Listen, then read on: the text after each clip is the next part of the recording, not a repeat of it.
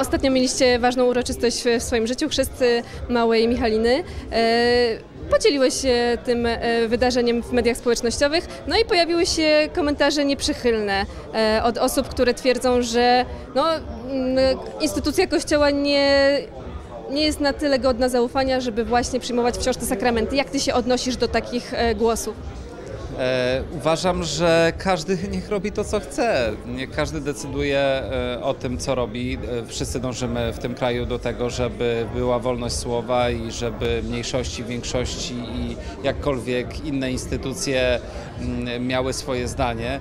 Więc ja nikomu nie zaglądam do, do a, albo też nie mówię nikomu, co ma robić. Szanuję to. E, Ja akurat zostałem tak, w takich wartościach wychowany. Mm, Z tym się bardzo dobrze czuję, z tym się dzielę. Uważam, że warto akurat promować takie wartości, które, e, którymi na przykład jest chrzest święty, E, ale to jest moja opinia i absolutnie ktoś może się ze mną nie zgadzać. No i, no i tyle. No. Jeżeli się nie zgadza, to, to, to, to nie musi mnie obserwować ani, ani też, nie wiem, e, jakoś dziwnie komentować, no bo to świadczy już o tej drugiej osobie. Ty w ogóle miałeś jakieś opory przed tym, żeby pokazywać właśnie ta, ten e, moment z życia waszej rodziny? Czy stwierdziłeś, że to jest dla was tak naturalne, że, że i tym chcecie się podzielić?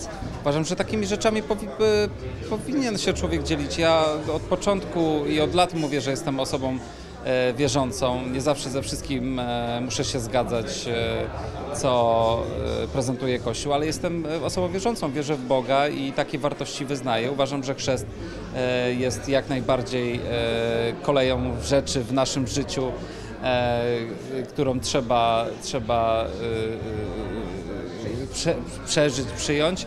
E, Więc absolutnie mówię o tym. Często też pojawiają się pytania, dlaczego nie ochrzcisz później? Przecież to jest e, decyzja dziecka, ale dlaczego decydujemy za dzieci, jak mamy je ubrać, albo dlaczego mają iść do szkoły? Przecież to dzieci powinni, powinny decydować. To my jesteśmy rodzicami, no i na tym etapie decydujemy za dzieci, a e, w takim wypadku na pewno im nie szkodzimy.